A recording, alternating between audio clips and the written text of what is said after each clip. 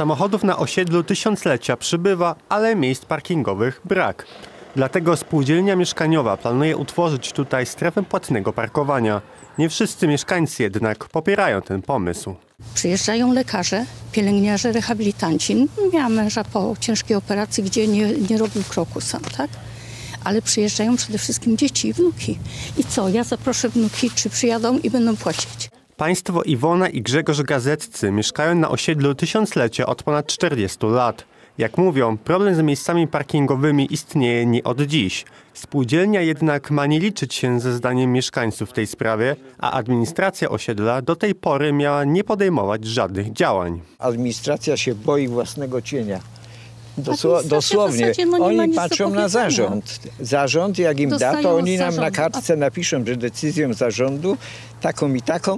Mieszkańcy wszystkich ratajskich osiedli otrzymali ankiety z trzema propozycjami rozwiązania problemu brak miejsc parkingowych.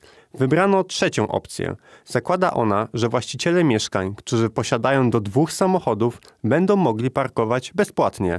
Dla pozostałych darmowa ma być pierwsza godzina postoju, a każda kolejna kosztowałaby 5 złotych. Trzeci, my go nazywamy takim najbardziej liberalnym, bo rzeczywiście jest tam kilka e, takich usług, e, które e, no, dają więcej możliwości do tego mm, bezpłatnego parkowania. Jak mówią Państwo gazeccy, odpłatne miejsca parkingowe doprowadzą do tego, że goście mieszkańców, w tym członkowie ich rodzin, nie będą chcieli ich odwiedzać. Czy mamy być w takim zamkniętym getcie, że na stare lata zostaniemy sami? Na osiedlu tysiąclecia kontrowersje budzą także tak zwane parkingi społeczne, znajdujące się na terenie osiedla. Kto tym zawiaduje? Nie wiem. Kto bierze pieniądze za to? Nie wiem.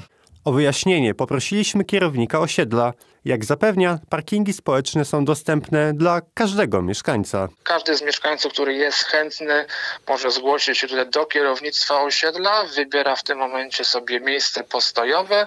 My takie, taki wniosek mieszkańca przekazujemy, taki wniosek do zarządu spółdzielni i na, na tej podstawie mieszkańcy u, uiszczają e, odpowiednią opłatę, czy to na podstawie faktury, albo jest to doliczona opłata do czynszu. Również mieszkańcy osiedla Lecha mają wątpliwości co do rozwiązania problemu z parkowaniem. To, co oni tutaj proponują, to wydaje mi się, że jest trochę e, przesadzone, bo to oni chcą więcej nawet niż w mieście w centrum. Będę przyjeżdżać do wnuczki i miałabym płacić, to nie jestem zadowolona.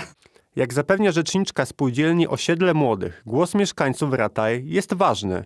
To właśnie oni mają zdecydować, czy strefa zostanie finalnie wprowadzona. Zapowiada więc następną ankietę, tym razem na osiedlu piastowskim. w której zadamy pytanie, czy jesteś za, czy przeciw e, spółdzielczej strefy parkowania w ramach właśnie tego trzeciego wariantu, który został wybrany. Zdaniem pani Iwony, spółdzielnia najpierw powinna zapytać o zdanie mieszkańców, a dopiero w dalszej kolejności proponować warianty. Wybierają, to najpierw wybierają, a później się zgadzają. No odwrotnie, prawda? W przypadku negatywnej opinii ankieterów planowana strefa nie powstanie.